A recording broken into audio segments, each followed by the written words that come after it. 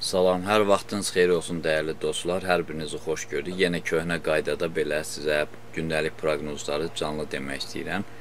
Çox əziyyətlər çəkdik bu dövrdə, karantin dövründə. Ona görə istəyirəm biraz e, yenə də fərqli ola.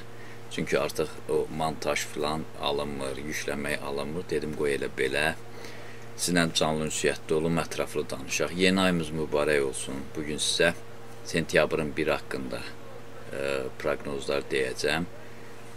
İyul, avqust astronomik cəhətdən, astroloji cəhətdən gərgin dövr oldu, sıxıntılı dövr oldu. Ümumiyyətlə karantin dönəmi dünyadan təcrid olunma prosesi hər birimizə ağır ə, fəsadlar verdi, stresslər verdi, fəaliyyətsizlik verdi.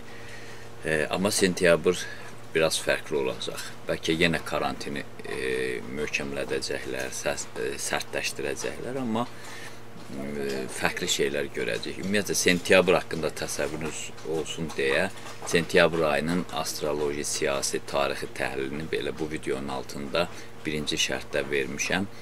E, təhlil uzun illərdə o, o barədə müxtəlif mətbu orqanlarda, hətta öz qəzetimizdə də çıxmışdı.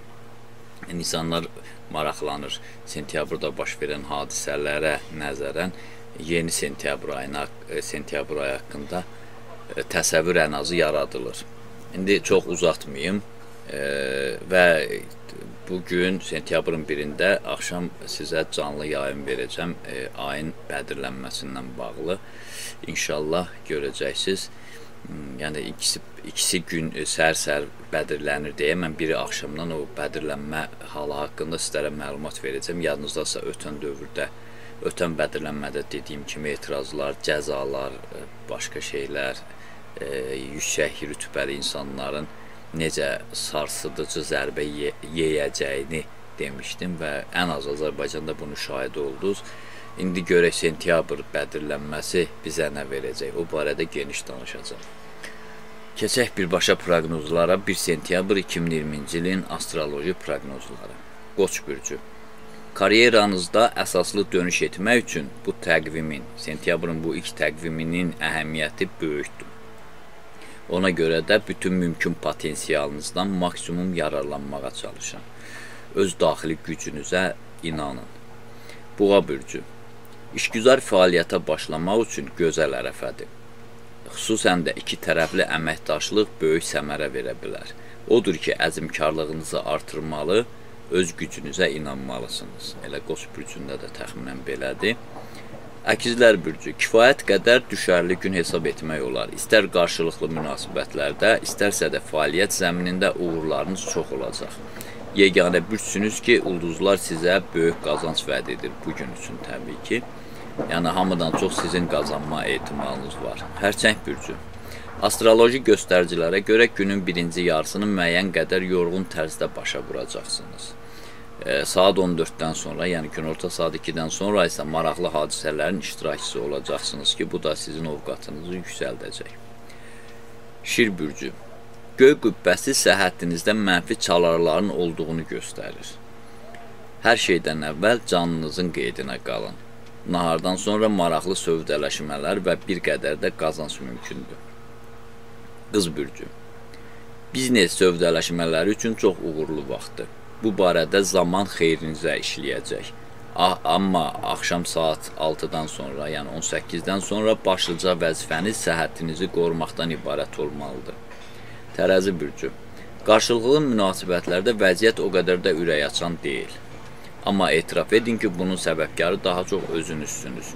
Çalışın ki, hər bir situasiyaya reallığın gözü ilə baxasınız. Əqrəb bürcü. E, günün ümumi mənzərəsi gərgin fonla müşayiət olunduğundan özünüzü ələ almağı bacarmalısınız. Özünüzü hamıdan üstün tutmaqla yalnız adınızı hörmətdən sala bilərsiniz. Yəni təkəbbür, qürur olmamalıdır gün ərzində. Oxatan bürcü. Yaxşı olar ki, günün əsas vaxtını Tanrı ilə tək qalmağa həsr edəsiniz. Yəni özünüzə qapılıb öz düşüncələrinizə qapılasınız. İndiyə qədər gəldiyiniz yolu təhlil eləyəsiniz, səhvlərinizdən nəticə çıxarasınız keçdiyiniz həyat yoluna səhv və yanlışlıqları nəzər salıb çatışmazlıqları aradan qaldırın. Oğlaq bürcü üçün çox uğurlu gündür. Fəaliyyətlə bağlı qarşınıza qoyduğunuz vəzifələrin əksəriyyətini reallaşdıra biləcəksiniz.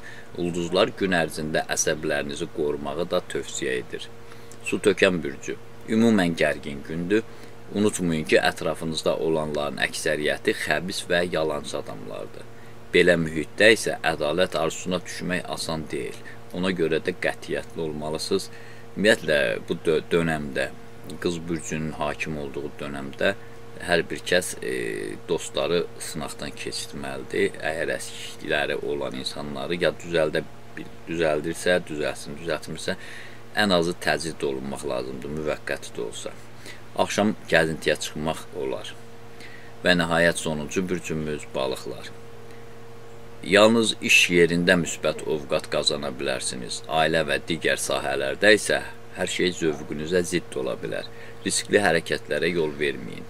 Vaxt tapıb mübarək adamlara, ziyarətgahlara da baş çəkə bilərsiniz. Məndən bu qədər. Diqqətinizə görə sağ olun. Kanalımıza abunə olmağı unutmayın. Onu da unutmayın ki, Tanrı ulduzlardan daha yüksəkdə durur.